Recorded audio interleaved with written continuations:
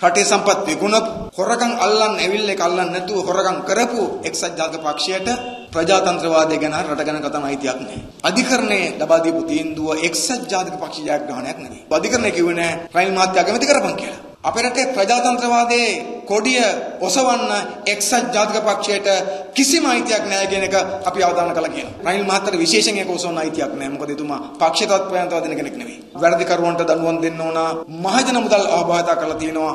ඒ වාපව වකුල ගන්න ඕන. රනිල් වික්‍රමසිංහ මහත්තයා අගමැතිකමේ නැතුව ඉඳද්දී අර්ලිගහ මන්ත්‍රී ඉඳගෙන යාළුවන්ට කන්න බොන්න දෙනවා. පොත්පත් සාකච්ඡා තියෙනවා. මහජන මුදල් වෙන් කරන්නේ. ප්‍රවෘත්ති රසවිදීමේ පළමු අත්දැකීමට www.itnnews.lk වෙත එන්න.